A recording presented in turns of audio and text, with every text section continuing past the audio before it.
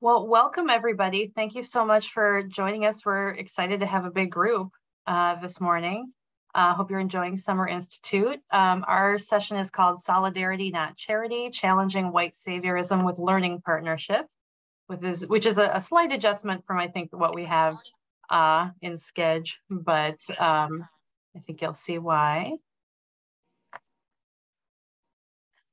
Uh, so just to briefly introduce ourselves, uh, my name is Erin Carey. My pronouns are she, her, hers, and I'm an ELL instructor at Lyndale Education Program in South Minneapolis. Um, my name is Chris Kloss. My pronouns are they, them, um, and I'm an ABE instructor at the Hub Center, or sometimes we call it St. Paul ABE. Good morning, everybody. Hi, my name is Tammy Twiggs. Um, my pronouns are she and her. I also am a teacher at the Hub Center and instructor um, for the GED program. So welcome, everybody. Thank you so much for joining us. So I'm just going to get us started this morning with some guiding principles. Um, and uh, we've used these in a couple other presentations. I think um, some of the credit goes to uh, Wendy for putting these together. Um, so here we go.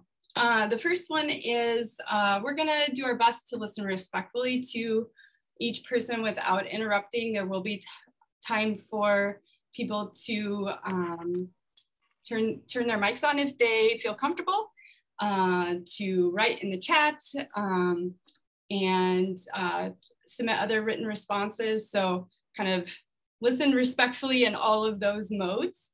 Um, and when you're when you are speaking or writing, um, be speaking for yourself. I think this session particularly is really aimed at self-reflection for instructors. And so talk about your experience and what you're reflecting on. Don't try to tell somebody else's story or your students' stories. Um, and also don't correct other people's experiences. We're all coming at this from different perspectives, different identities, and um, different levels of awareness. And so let, let people share uh, where they're coming from and keep these conversations confidential. We, this is a recorded session, so we're trying to give you opportunities to uh, respond anonymously if you don't feel comfortable, um, but also don't like, you know, say, go, go back to your program and say, did you hear what so-and-so said? um, we, we're just gonna respect each other's learning in that way. Um, something Tammy has reminded us throughout developing this session that I think is a really great way to enter it is, um, can we just sit in our discomfort? Uh, I think a session like this is 45 minutes. Um, it's gonna be like uh, swimming in Lake Superior which I don't know if it ever gets comfortable when you're in Lake Superior, but the longer you're there, you sort of adjust. Today, we're just dipping our toes in, so it's gonna stay pretty uncomfortable. We're not gonna solve anything by the end of this. We're gonna get our thinking started today. Um, as people are sharing, again, we're all in different places, so assume positive intent, but also we're all in different places. So you might say something that somebody else responds to, and um, maybe calls you in on. Um, so please uh, accept responsibility for your impact. We will try to do the same. And then take care of your needs as they arise. Um, if you need to get up, move around, leave the call, uh, and come back, take a break, we understand.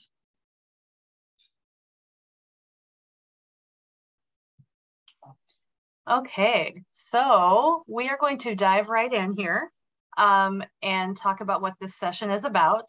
Um, so we have brought up this term white saviorism and white savior complex. And this refers to um, a mindset that we uh, want to uh, discuss as a group here today. So just to kind of give us a common definition to operate from, and, and we will build on this as well.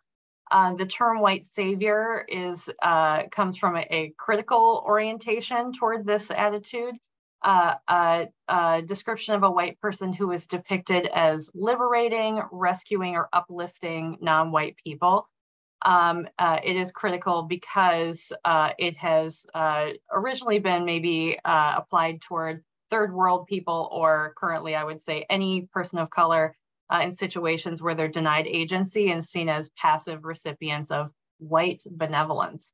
Uh, so this term white savior comes from a Rudyard Kipling poem, uh, The White Man's Burden, which was about, uh, uh he was, uh, you know, lived in India under British rule and uh, was inviting the US to colonize the Philippines at, in the late um, 19th century. So uh, I have the first stanza of a long poem here. Take up the white man's burden, send forth the best ye breed, go bind your sons to exile to serve your captives' need, to wait in heavy harness on fluttered folk and wild, your new caught sullen peoples, half devil and half child. So I think we can all observe a lot of uh, attitudes uh, that are uh, potentially being commented on, but also are very like um, saturating mindsets of, uh, of uh, colonial um, uh, thinkers at this time. Um, and uh, so this is something that people have referred to when talking about uh, the attitude of white people in uh, the idea of helping unfortunate people of color. Um, so at this moment, is there anyone in the chat um, who would like to um, maybe add to uh, this definition uh, or provide any reflection or, or context that any, any additional knowledge you have around this term?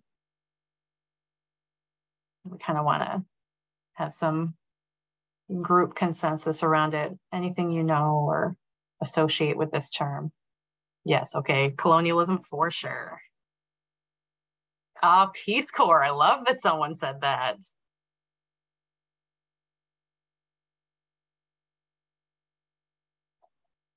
Yeah, I think there are a lot of sort of um, forces in our society that have been considered, um, yeah, white supremacy that have been considered uh, benevolent over time that we have come to realize are like soaked in this, um, you know, top down. The white people are here to help the unfortunate non-white people uh, this mentality. Okay. Oh, Lawrence of Arabia. What a good reference. Oh my gosh. Yeah, you're going to see his face in our video in just a moment. Um, tied to colonialism, manifest destiny, white supremacy, nonprofits, Kaya, word, um, teaching the language of the ruling class. Uh, didn't they come here to be like us? Whoa. I want, did you hear that from another teacher, Krista? Holy moly. Institutional racism, white saviorism versus advocate. Okay. Um, ESL classes being offered in church basements. Yeah, I think the origins of, of our literacy education environments definitely are, are tied to some of um, these attitudes. Oh, you're a better man than me. I think that's a Gunga Din reference. Yeah. Missionaries, absolutely. Yeah, and these are, of course, complicated histories that are that are tied to this term. Okay, thank you everyone for sharing. Oh, English only policies, yes. Yeah, so we have a video um, to share with you, um, giving some examples of white saviorism as it's depicted in popular film narratives. So the white savior trope. Um, and uh, this video starts by talking about how there was a huge audience that suddenly started streaming the film The Help around the time of the protests surrounding George Floyd's murder. So I'm going to start the video and if there are any audio issues or you cannot hear it, please do respond in the chat. I'm going to go off camera so we can get more bandwidth. Thank you.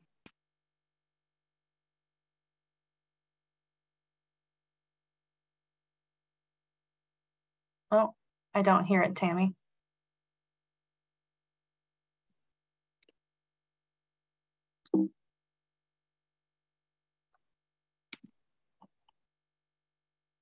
Okay, you said you could not hear it? Right. Okay. Movies on Netflix. Can you hear now? One in the U. Could you Can hear you that? Closed caption too. Mm -hmm. Yep, I am trying. All right, hang on a second, everybody. Let me hit the closed caption for you all. Sorry about that. And we'll try again. You is smart. You is important. For some reason, my closed captioning, I'm hitting it and it's not going. Does somebody want to grab the video from me? Because I will stop sharing. Um, I did practice this last night and I'm new to Zoom, so I apologize for the glitch. Um, could you hear my audio and you just couldn't see the closed captioning? Is that what's going on? Right. It might not have closed captions. Um, I have the CC button, but it's not popping up for some reason. Um, so should I proceed or would someone else like to do the video? Uh, Tammy, will you click that settings, uh, that little gear right there? I'm, I'm clicking on it right now. Off. Yep, click that and see. Let's see if I Uh, it might not have them. It probably doesn't have captions. It's fine. Okay. Sorry. I think that was maybe an interpreter. Yeah. Do you want to Probably go- over? captions. Tammy? Go ahead. Go ahead. Just Mm. play the play it. Mhm. Okay. Yeah. 2011 film resurgence in popularity.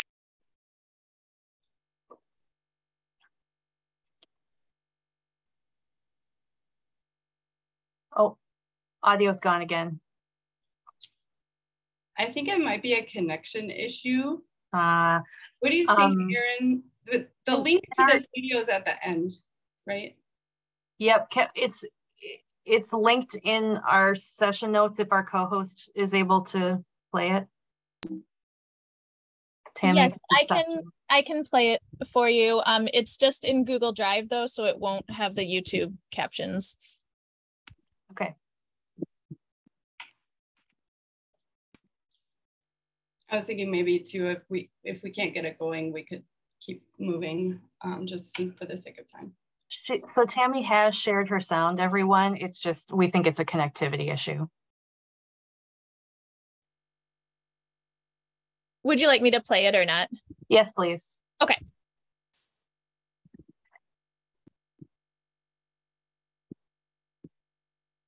Thanks, Elizabeth. A story about a white woman right? Oh, boy. No, we lost our audio again.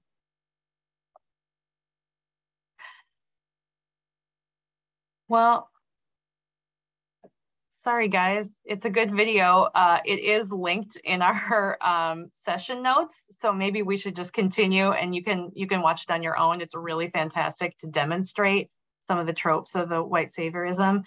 Um, and uh, it's a really good analysis of a variety of different movies that um, that get into the white savior trope. So I do recommend the video. It's really cool. Okay, so I'm going to go back into the presentation and thank you for your patience. I'm glad it wasn't just me. it played beautifully and three times we met together. Um, but for whatever reason, that has that's the way it is right now. So we're going to go on to the next portion. And um, Erin, A story about Um, a white woman.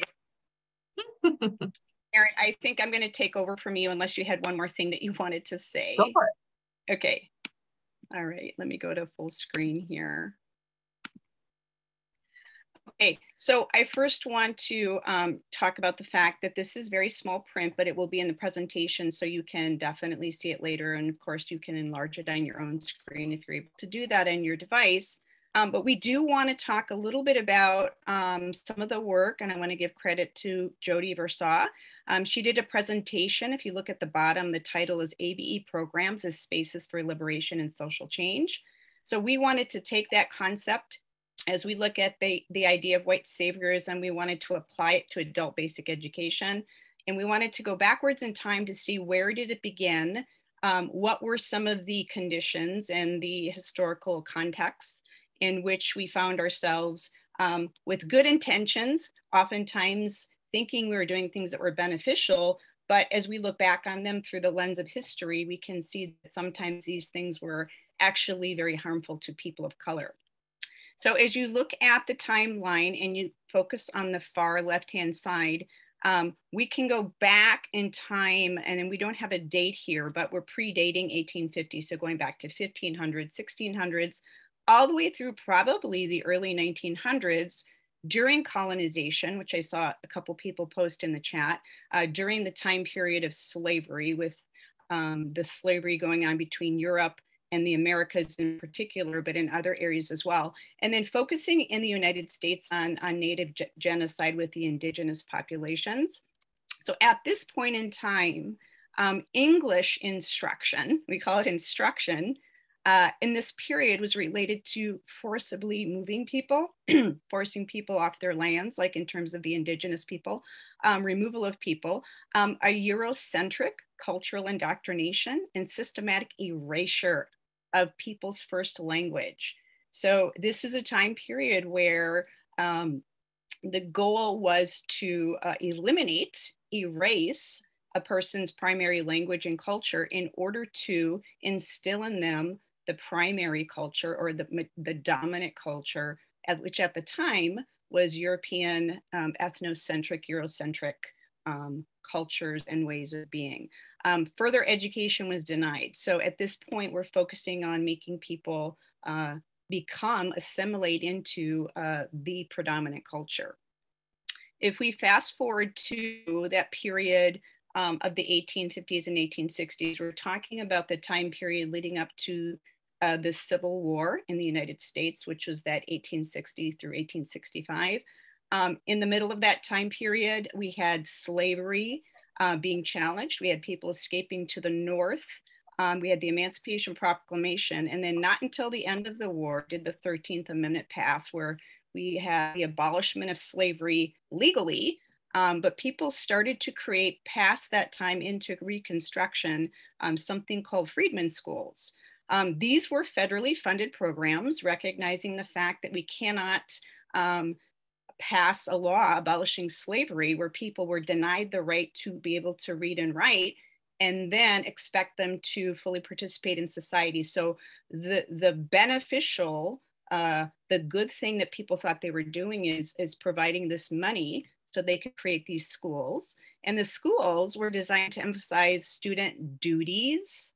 What are your rights? but primarily in relationship to the white race. So again, it was focused on making sure people were able to assimilate and become less of themselves and more of that um, majority white race. So that's what the schools were focused on. And we could probably push that time period.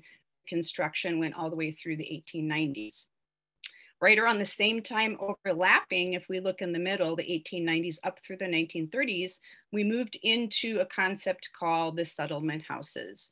Um, these were a little different because they were focusing on uh, people emigrating to the United States from other places. Um, so in order to help them, many of them coming with zero Eng English or very little English, um, the literacy focused on integrating non-English speaking immigrants um, through the process of language classes, and then also to help them become citizens um, through naturalization classes.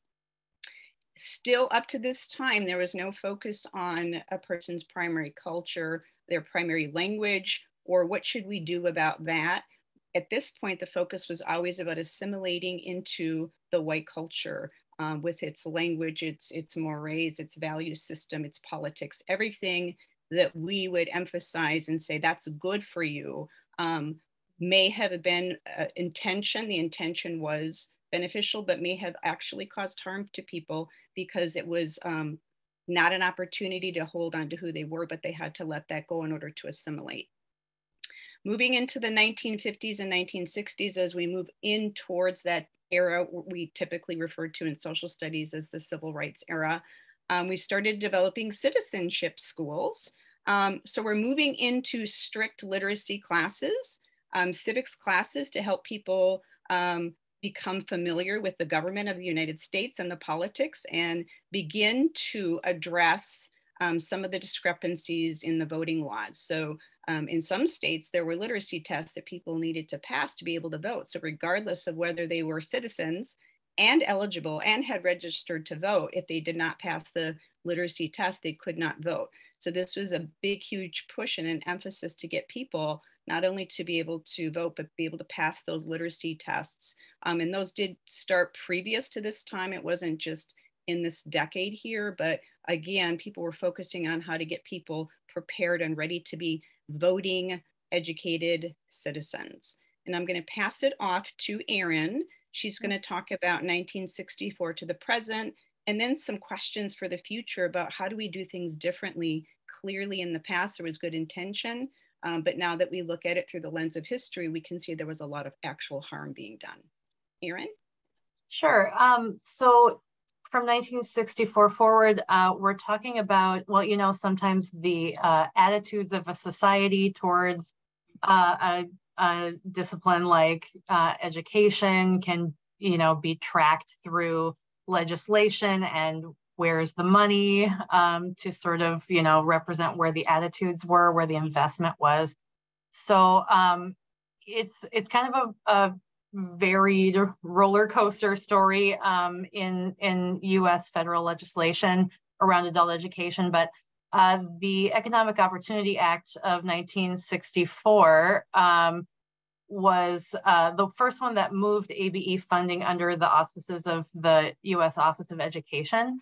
Um, so this is where funds came in to train uh, teachers, establish grow programming, support research, curriculum development, um, and uh, adult education was being framed throughout the sort of uh, mid or mid to uh, late 70s, 60s uh, and 70s around um, addressing, you know, full human potential development through education and, and including literacy skills as part of that, uh, beyond just uh, a person's role in the workforce. Uh, in 1991, we had the National Literacy Act, which is where we get a lot of our national ABE systems and measures of program accountability.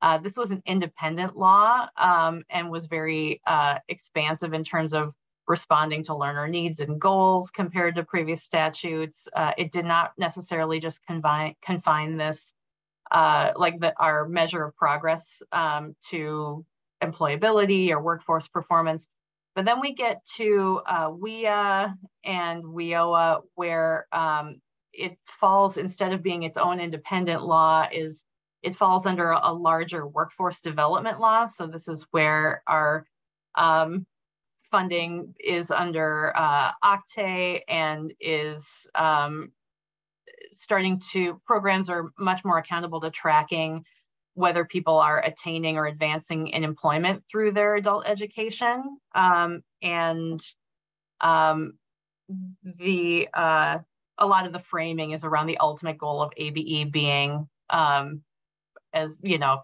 contributing to our uh, economic progress as a nation. So um, students are maybe measured more in terms of being a return on investment and uh, as opposed to us having an attitude toward education as a fundamental human right. And I think there's a, a through line from the colonization uh, that Tammy talked about to our ABE practices today when we look at some of these uh, legislative um, attitudes toward our, our learners. So the work going forward potentially is both dismantling white saviorism in our mindset, but also seeing and combating racism and discrimination um, in our work in our own um, program settings, but also in a broader view toward our students and um, how we're funding adult education in our country.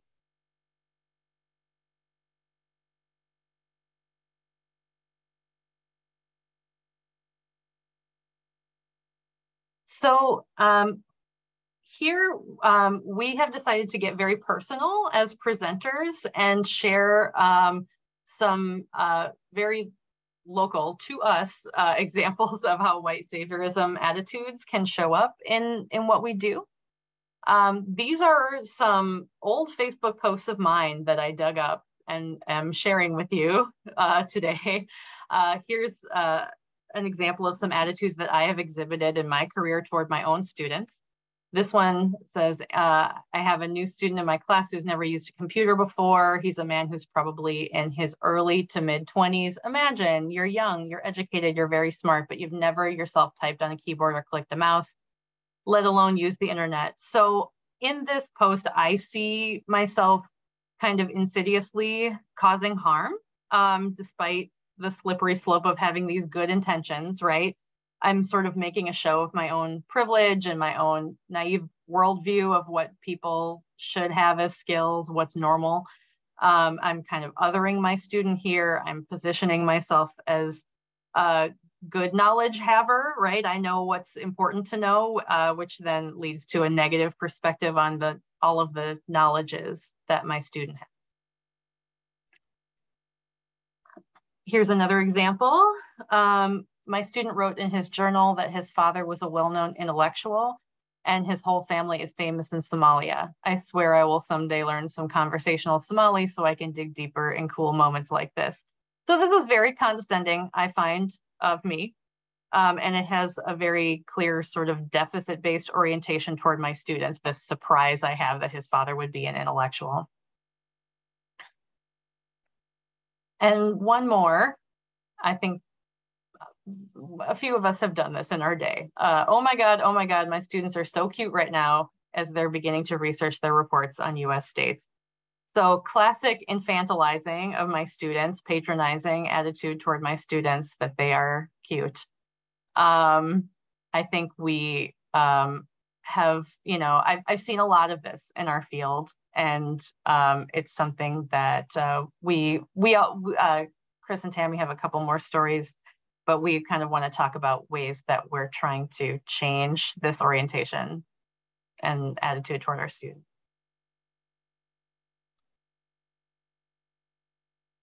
Chris, do you want to uh, go? Yep. Um, so I wanted to share, um, some people brought up sort of missionary and the literacy program in a church basement, um, which I think, you know, it definitely has a, a presence in our field. And um, that's, you know, how I was raised and wh where I maybe found a way into the field. And um, the picture of the socks here on the screen is a reminder of a story early on in my career. I would buy my students Christmas presents and I like knew enough at that point that I wouldn't call them Christmas presents. They were, these are just gifts from your teacher before we go on winter break.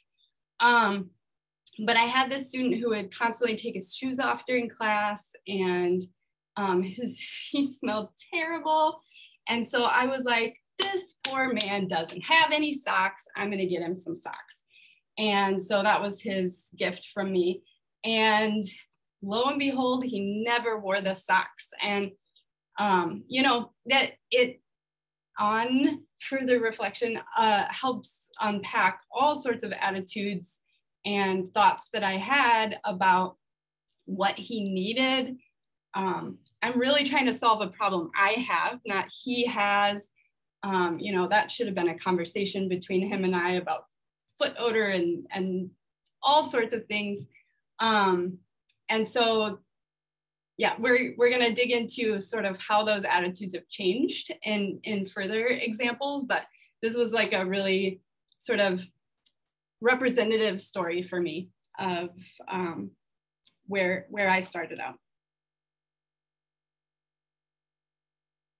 Um, and I know we're a little short on time, but I just want to add my own personal anecdote. Um, as we mentioned, we want to apply this to ourselves, and that's hard work to do. And that's where I came up with that quote Can we just sit in our discomfort because these are uncomfortable conversations. So as we look at the Jamboard and think about examples, we're reflecting on our own practice. So for me personally, um, going to college, getting my degree in the early 90s, I'm really dating myself now. Um, as an English major, uh, we were taught to uh, promote the canon of literature, uh, especially the canon of American literature and European world literature. So in my early years, uh, my it was my late 20s teaching at the Hub Center when I was the first uh, in, a new teacher there.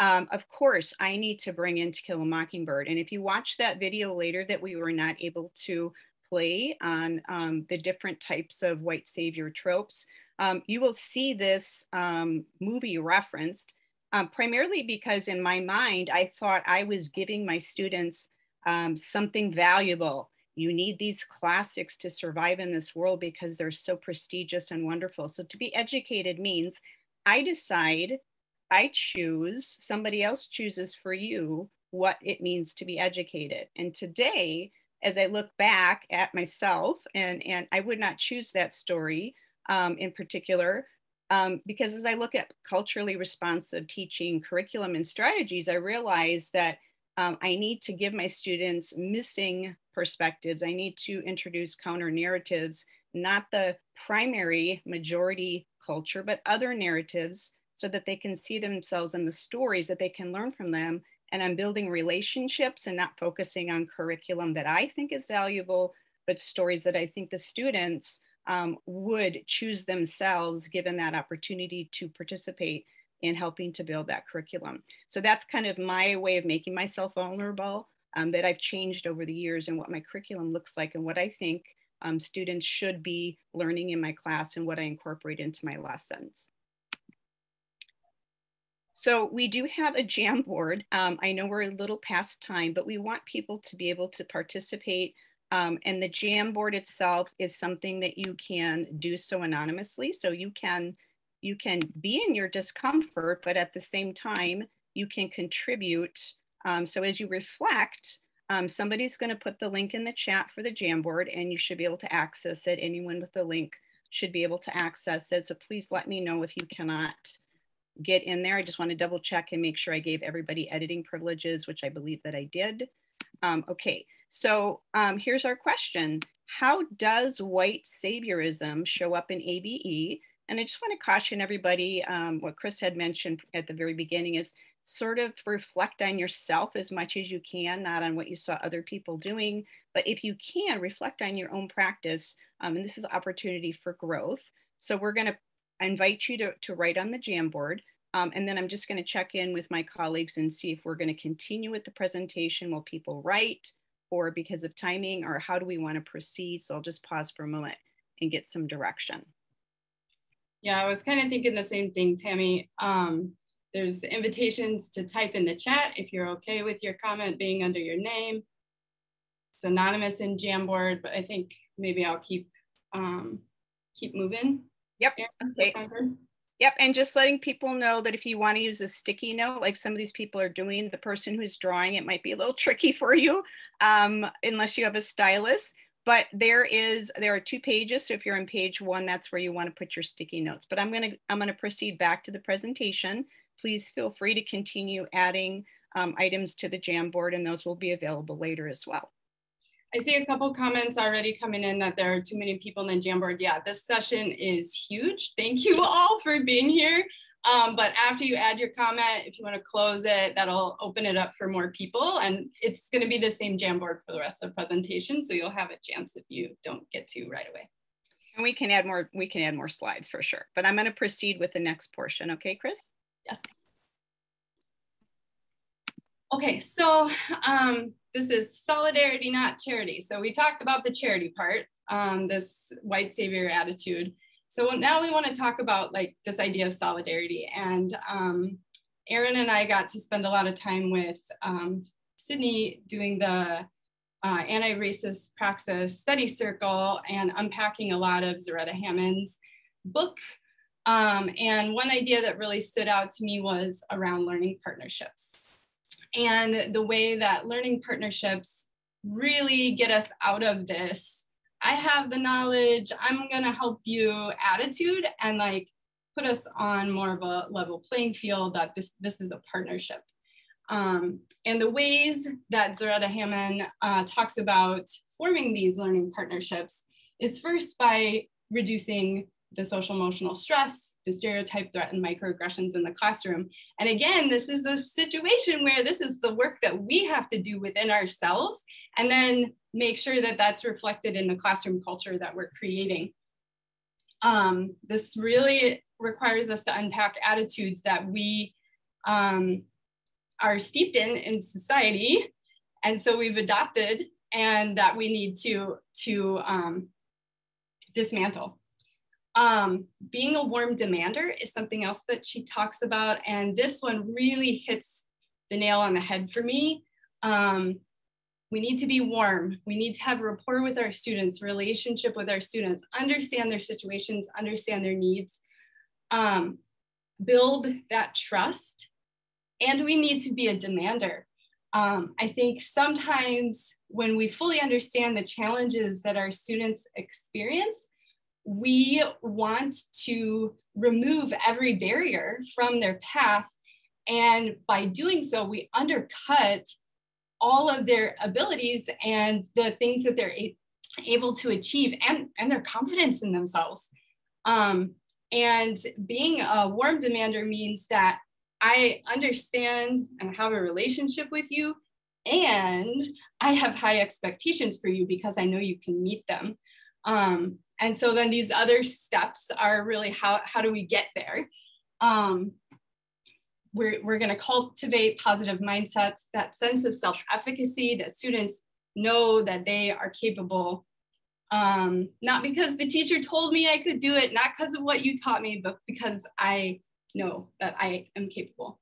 Um, students are taking ownership of their learning, um, and they are learning that metacognitive language to describe their learning and their learning moves this last piece, rapport and alliance equals cognitive insight, I feel like is so um, condensing of all of this that we need that relationship, we need that rapport in order to become allies of our students. Um, we're not this benevolent like superhero, we're an ally. This is uh, solidarity. And that's where that cognitive insight comes from.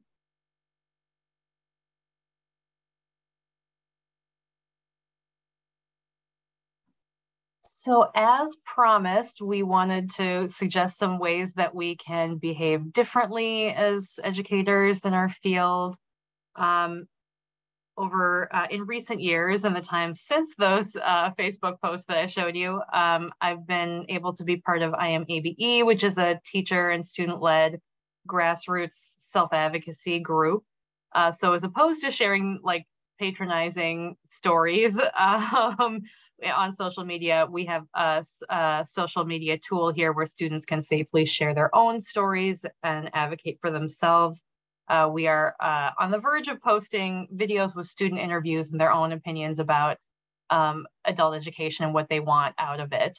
So amplifying student voices is critical.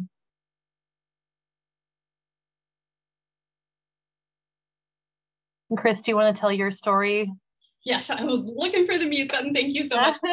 um, so I, I talked about the student with the socks previously. Um, a few years down the road, I had another situation where a student was attending class with a rag between her legs. And I think previous versions of myself um, would have like, I don't know, purchased what I thought she needed and like secretly put it in the bathroom or something like that. And instead, um, we sort of had a team meeting we had a conversation with the student, found out why she was doing that. She didn't have the hygiene products that she needed. We purchased the specific hygiene products that she asked for that were appropriate for her, and then made those available. Um, and I think that, you know, in and of itself shows uh, some movement in thinking. While preparing for this session, I also remembered another story even more years later where a student felt comfortable in the classroom community to share that they had not had food in their home for several days um, because they ran out of money. And um, the students themselves organized a collection and gave her um, money. And I think sometimes we think, oh, all of our students are in these situations, they can't be asked to do that. But there was a sense of community and solidarity in that classroom. And I think she walked away with several hundred dollars um, to meet her family's needs.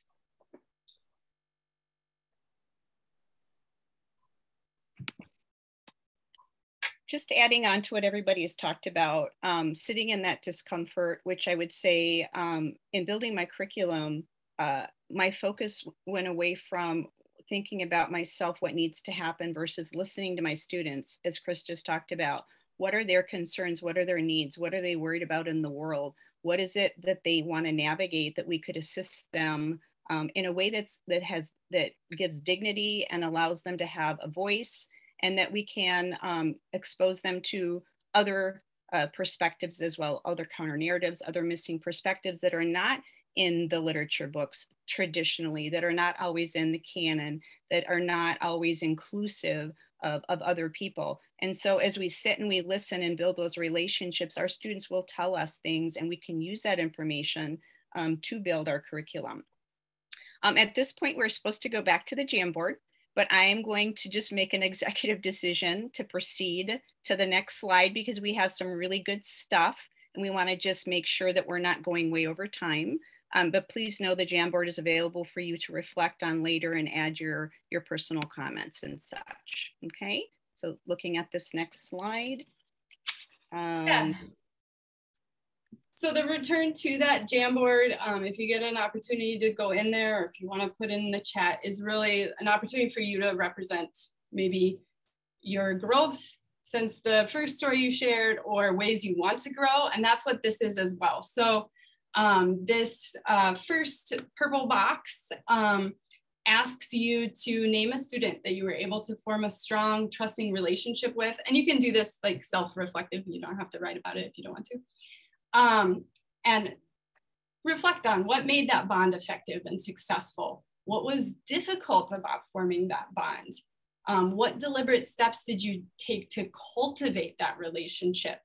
What did you learn from that student? I saw that some people were writing things along these lines in, in the chat, right? Like um, we talk about this, but how seriously do we take it that we are learning from our students? Um, and sometimes they provide us support. I think many of us probably experienced that during the pandemic when we all got thrown in this boat together. Um, everybody was learning um, and supporting one another. And then um, what, what about that experience are you gonna take into the future? We have this other, these concentric circles on the left because maybe as I read these questions out, you're realizing I didn't have a relationship like that with a student. This is something that I want to do in the future. And so you can then be reflecting on um, what are the things preventing those kinds of relationships from forming, and then identify where the agency is in that. What about that? What behaviors and actions and attitudes are within your control that you can actively start changing? What are things that you don't have control over, but you can influence, maybe in your program? We also talked about um, in developing this session that sometimes um, we can try to do all these things, but if students don't want that kind of relationship with you, like you, you can put all the pieces in place, but it really is their decision to engage in that. Um, and then if there are things that are completely outside of your control and influence, what are the things that we can accept and what are the things that we can't accept that we need to um, continue working on. So we are like right at time. Um, like we said, we're sitting in discomfort. None of this is solved. Um, we do uh, want to share our contact information with all of you uh, so that we can continue these conversations. We are really hoping to have a longer format to share this and reflect on this more in the future for you all.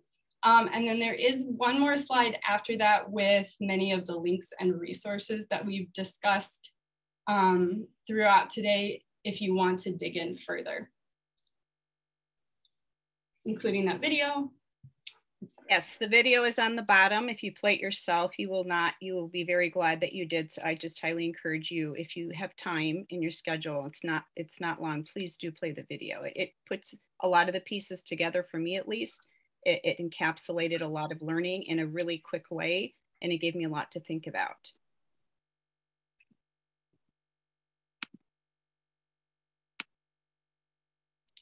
Um, where can we access the slides? Um, is everything going to be available in a in in? Um, I know Hamline Atlas has created a way for all of all of the things to be available. So yeah, the slides will be available.